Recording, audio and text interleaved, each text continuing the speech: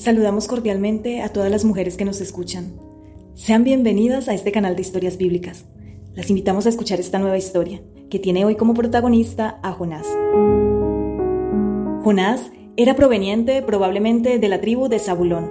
Vivió en el tiempo del rey Jeroboam II, un tiempo de decadencia espiritual donde el pueblo y el mismo rey le dieron la espalda a Dios y se alejaron de él, cayendo en el pecado de la idolatría.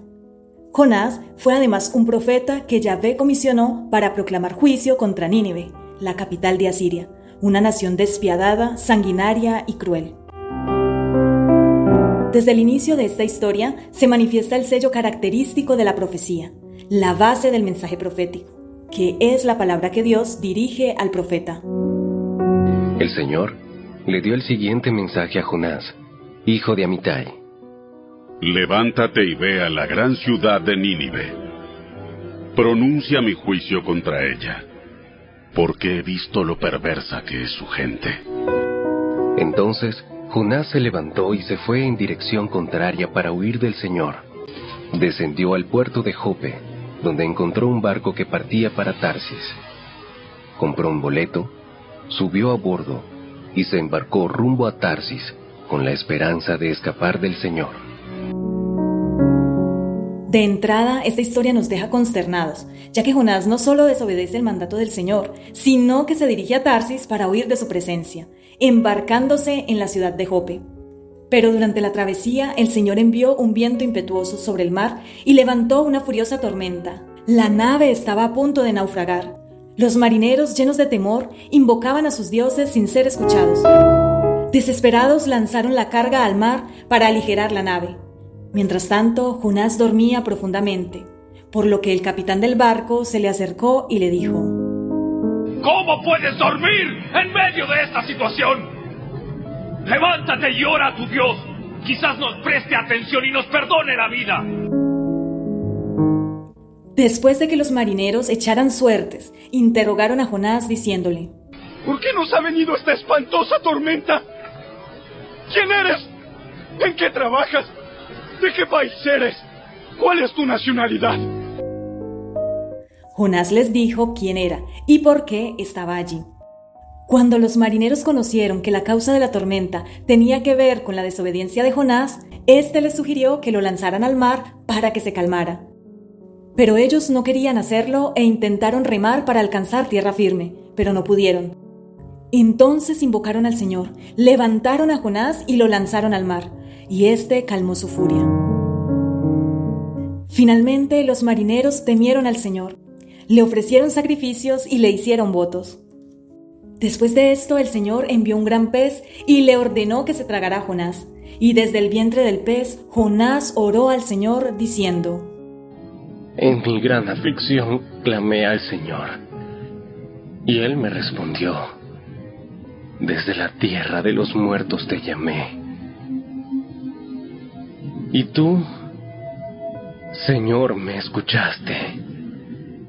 Me arrojaste a las profundidades del mar y me hundí en el corazón del océano.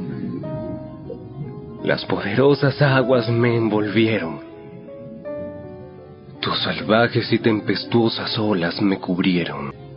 Entonces dije, Oh Señor, me has expulsado de tu presencia Aún así, volveré a mirar hacia tu santo templo. Me hundí bajo las olas y las aguas se cerraron sobre mí. Las algas se enredaban en mi cabeza. Me hundí hasta las raíces de las montañas.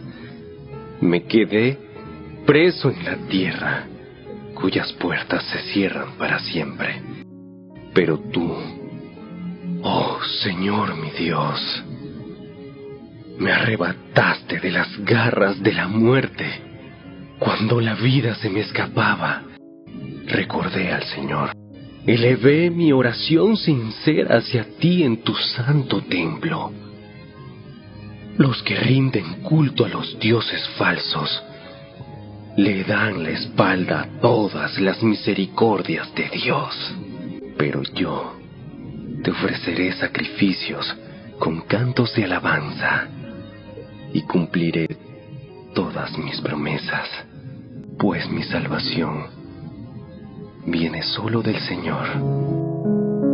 Fue así como Dios le ordenó al pez vomitar a Jonás en tierra firme y dirigiéndose a él nuevamente le dijo, Levántate y ve a la gran ciudad de Nínive y entrega el mensaje que te he dado.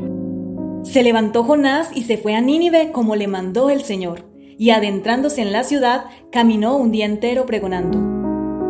Dentro de cuarenta días, Nínive será destruida. Fue así como creyeron a Dios los ninivitas, proclamaron un ayuno y se vistieron de sayal, pequeños y grandes.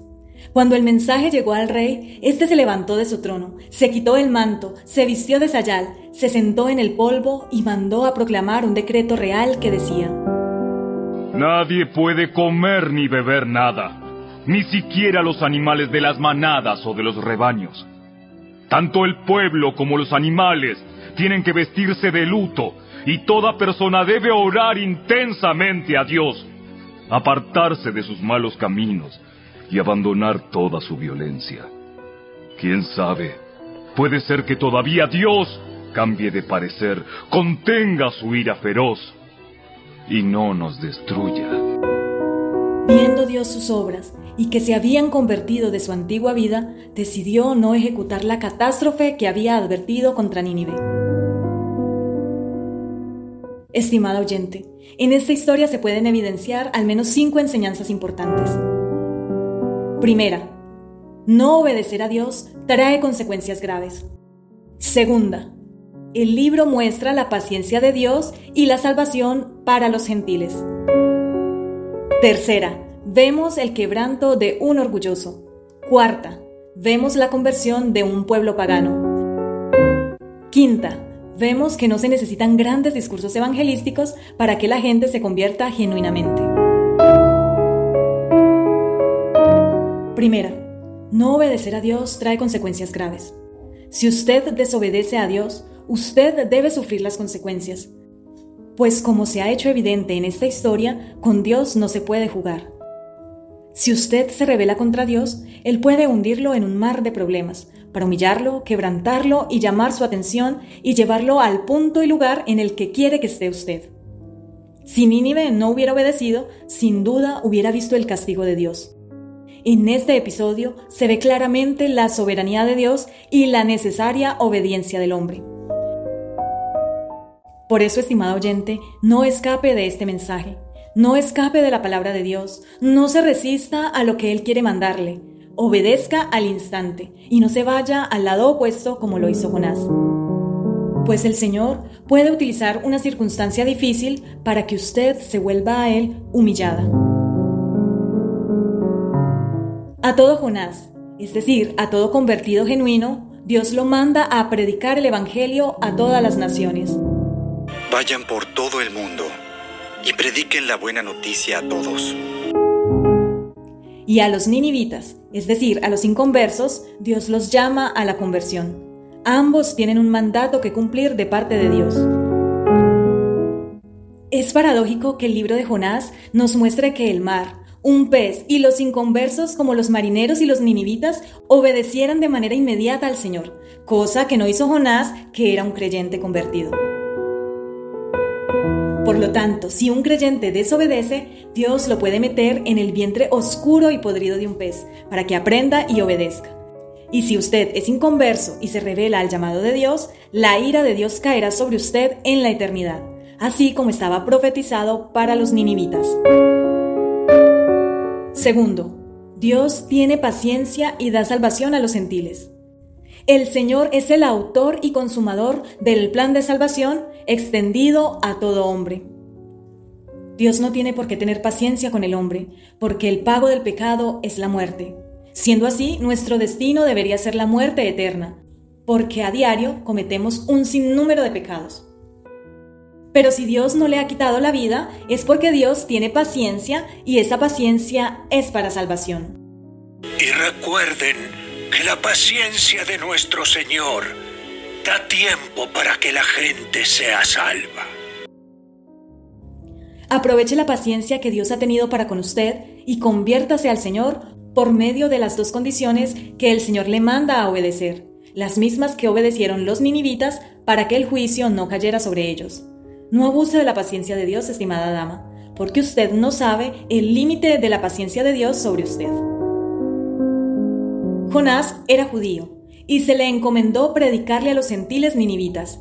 Así también hubo un Jonás mayor, el Señor Jesús, que vino a predicarnos a nosotros los gentiles para que no seamos enviados a un lugar de tormento, lejos de la presencia de Dios. El mensaje de Jonás fue concreto y radical. Ese es el mismo mensaje que le predicamos hoy. Si usted no se vuelve a Dios obedeciendo el mandato del Señor, el juicio del Señor caerá sobre usted el día en que muera. Haga como los ninivitas, que libremente decidieron obedecer el mandato de Dios predicado por Jonás y se libraron de la destrucción. Tercero, Dios quebranta al hombre orgulloso. Por eso, estimada mujer, quebrántese usted delante del Señor, antes que Él la quebrante a usted. Qué fuerte es escuchar el clamor de Jonás después de haber sido quebrantado por Dios. Es impactante ver a un hombre soberbio humillado. El vientre del pez es un mínimo anticipo de lo que le espera al hombre rebelde que no obedece el mandato del Señor. El Señor no solo lo quebrantará en esta vida, sino que tiene el poder de mandarlo a las profundidades del abismo sin salida. Por eso le animo a que deje su orgullo, su altivez, su autosuficiencia y quebrántese delante de Dios, reconociendo sus pecados, su miseria delante de Él. Arrepiéntase y aférrese de lo sucedido en la cruz del Calvario, donde Jesús recibió la justicia divina que merecía recibir usted en la eternidad. Jesús dijo que la historia de Jonás fue cierta, y es un llamado para usted, estimado oyente, que nos escucha. Al igual que en los tiempos de Jesús, no se dará otra señal que la del profeta Jonás. Solo una generación maligna y adúltera exigiría una señal milagrosa. Pero la única que les daré será la señal del profeta Jonás. Porque Romanos capítulo 15, versículo 4 dice, Tales cosas se escribieron hace tiempo en las escrituras para que nos sirvan de enseñanza. Y las escrituras nos dan esperanza y ánimo mientras esperamos con paciencia hasta que se cumplan las promesas de Dios. En esta historia hay dos grupos, uno humillado a la fuerza por Dios y otro humillado ante Dios. ¿En qué grupo está usted? ¿Cómo puede usted humillarse delante de Dios hoy? Primero, reconozca uno a uno sus pecados e injusticias delante de Dios. Reconozca que sus obras y sus justicias delante de Dios no valen nada. Reconozca que usted solo vale la justicia que recibió el Señor Jesús en la cruz por causa de sus injusticias. Y luego abandone su vida pecaminosa. Y en segunda instancia, humíllese para recibir la justicia que Cristo recibió por usted. Humíllese tomando la justicia caída sobre el Señor Jesús. Cuarto, la conversión de los ninivitas. La conversión de los ninivitas consta de dos partes, el arrepentimiento y la fe. La fe y el arrepentimiento. Jonás capítulo 3, verso 5 nos dice, los ninivitas creyeron en Dios. Jonás capítulo 3, verso 8 nos dice que el mandato es a que se arrepientan de su mala conducta. Y Jonás capítulo 3 verso 10 nos dice que vio Dios que se convirtieron de sus malos caminos. En el Antiguo Testamento, los judíos debían reconocer los pecados en el tabernáculo y creer en la expiación de un animal inocente por sus pecados. En el Antiguo Testamento, los paganos debían creer en el único Dios verdadero y hacer sacrificio por sus pecados. Eso era señal de arrepentimiento. En el Nuevo Testamento, los judíos debían arrepentirse de sus pecados y creer que Jesús era el Mesías. En el Nuevo Testamento, los paganos deben arrepentirse y creer en el Evangelio del Mesías. Quinto, no se necesitan discursos muy largos, se necesitan que los discursos sean radicales. Es por eso que le anunciamos Ninivita del siglo XXI que dentro de poco su vida será destruida. Así que reciba este mensaje porque la vida es demasiado frágil. Dios aborrece el pecado. Dios no extendió la salvación a los ninivitas porque se agradara con ellos. Dios extendió su salvación a los ninivitas porque Dios es paciente y quiere que los hombres se vuelvan a Él. Hoy no podemos hablar del pecado como falla, error.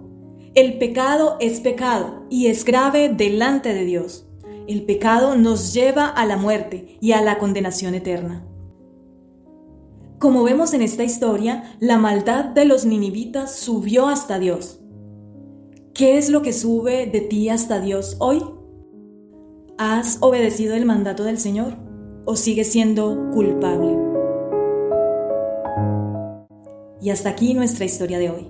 Recuerde que nuestro fin es dejar sembrada la semilla del Evangelio en su vida para que germine y dé buen fruto.